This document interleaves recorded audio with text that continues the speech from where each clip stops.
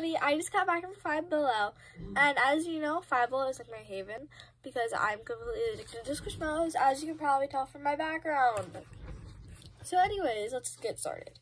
First, like the actual Squishmallow I got was this bear, green bear named Gobo, and his stomach is the best because it's my favorite color. Sorry, someone banged on my door. And I'm pretty sure this is like first to the market, so that's really cool. Like, but yeah, he's really cute. Then next, I got this Twix cookie dough bar, and I'm saving the best for last. Hold on.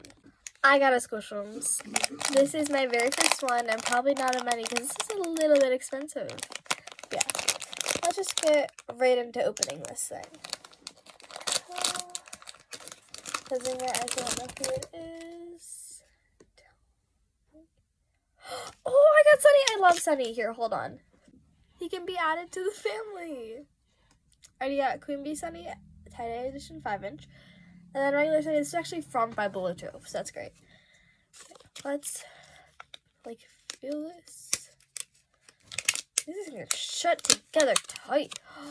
This is so soft. Oh, I love this. This feels like even higher quality than um a global. And those are pretty good. Like this is tough. I also love fidgets. I know that trend is kind of over, but in that gray container right over there, completely filled with fidgets. And yeah.